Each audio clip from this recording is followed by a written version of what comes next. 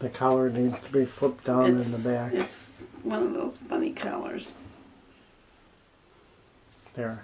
That looks a little well. It's still funny on this side. It doesn't. It doesn't turn. There. I have a hard time with it. It's a weird shirt, an odd Mhm. shirt. Hi everyone, it's Nonna Grace, and I'm from Western New York.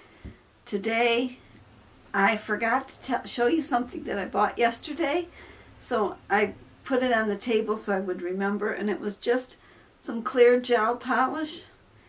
Is all that I had forgotten that I bought yesterday too. Jim, when I handed him the bag, he said it felt like there was something more in it, which this was in it, this little polish.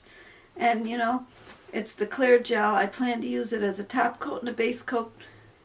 Today the weather was pretty good. I went for a little walk outside.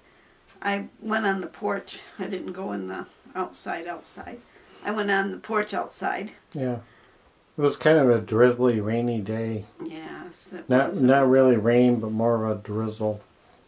Barn had to be drained of a, a well. You had some pump sub pump. around the foundation. It drains the water out of the foundation, and my hose was froze, so I had to unthaw part of it so I could get it to start pumping. But it's all cleared out now. Have a great night, and I'll see you tomorrow. Take care. Bye bye.